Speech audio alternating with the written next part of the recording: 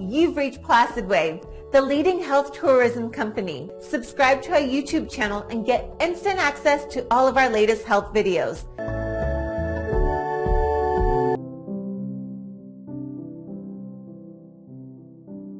In epilepsy, the brain is permanently in a state which tends to produce convulsions. So, epilepsy is characterized by recurrent seizures. Generally, an epileptic seizure is an abnormal function of the central nervous system's sudden and transient appearance. It usually lasts no more than two minutes. Epileptic seizures can occur both in the form of spasms as involuntary movements or states of dementia.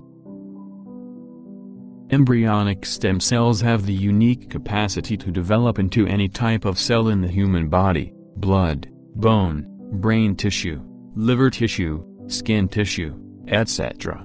Embryonic stem cell research can help regenerate and restore damaged brain tissue, making it an extremely viable therapy for individuals diagnosed with various forms of the epilepsy.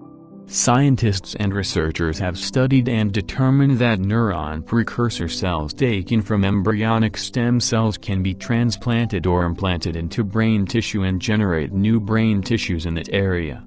Over 80 nations have conducted studies and experiments in this field, which has led to positive results expressing hope for extremely effective therapies for improving brain function not only with individuals diagnosed with epilepsy, but those diagnosed with Parkinson's and Alzheimer's disease as well.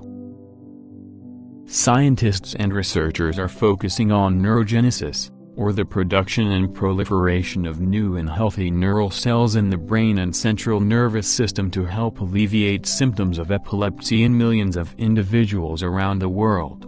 Current studies have determined that therapies and studies underway may have extreme beneficial effects on epileptic syndromes and studies will certainly continue into the future in regard to learning and understanding regeneration or neurogenesis of brain cells and tissues that may help alleviate, reduce, and even someday cure epilepsy syndromes found in most children and adults. If you want to know more, contact us